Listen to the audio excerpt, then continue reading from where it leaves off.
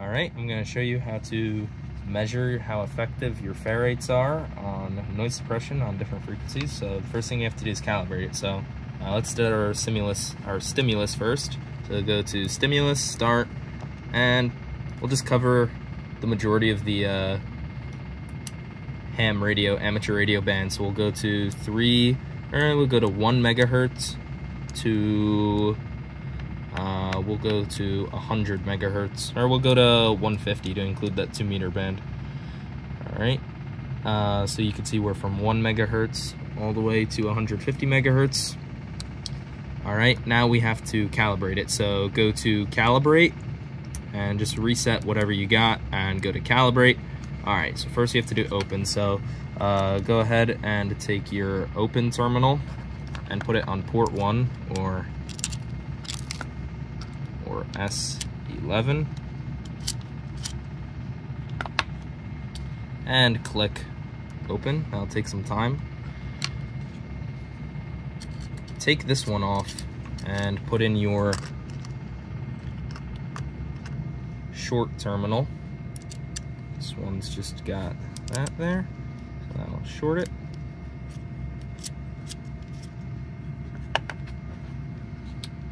Short that. Then we want to put in the load terminal in port 1 S11. There's your load. And press load and tap uh, Isolin.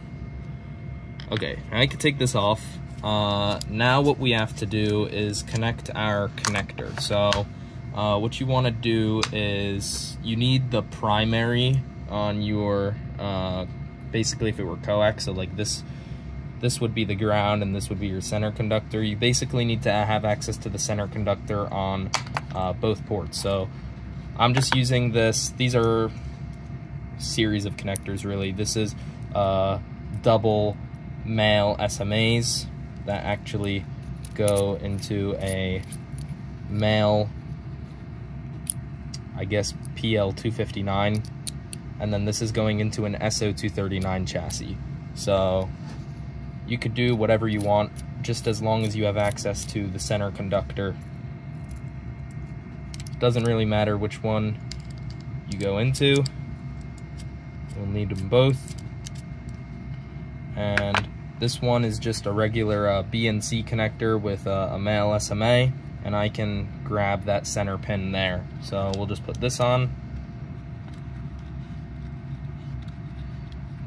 And we'll want to uh, take an alligator clip or whatever you got and you could uh, take two alligator clips and then have this as your uh, take, take this as your test wire or you could just do it like I'm using and not use a test wire and just make your test wire your alligator clips itself, which is what I'm gonna do.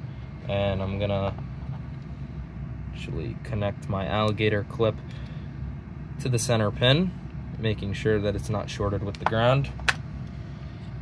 And, all right, very good, so that's there.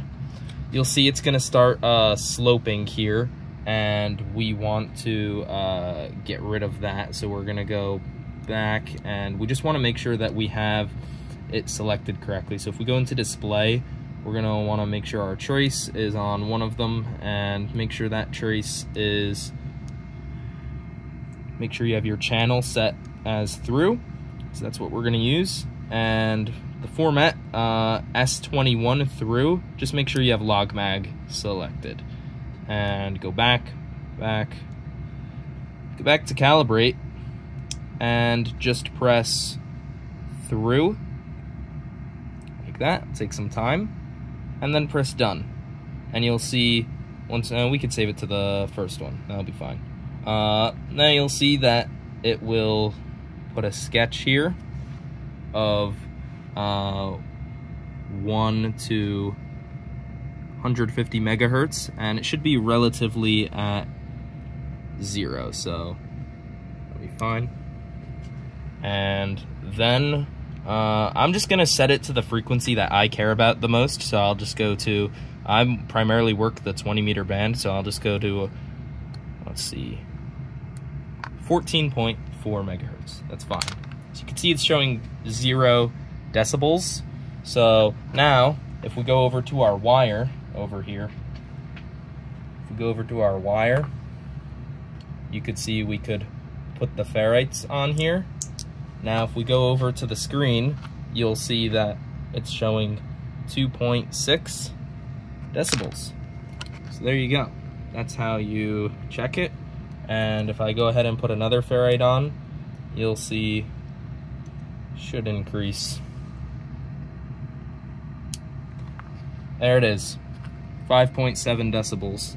Uh, now you could check which frequencies your ferrites are effective on. So if you go over to say 35 megahertz, you could see that it's 6.9 decibels, but if you go all the way up to 1 megahertz, you could see it's hardly effective there. Uh, if you go to the 80 meter band at 3.9 megahertz, it's somewhat effective, but uh, not much. It's at 1.9 decibels, and uh, if we go over to uh, the VHF portion at 145 megahertz, you could see it's at uh, negative 3.2, so it's somewhat effective there, but it seems to be, these ferrites in particular, uh, seem to be uh, most effective at around 30 megahertz, around the, around the 10 meter band. So, uh, that's perfect. And these ferrites, I do not know the composition type. I just bought them on Amazon. They were unlabeled, the cheap ones on Amazon, and they seem to be working great on the frequencies I care about. Uh, thank you for watching.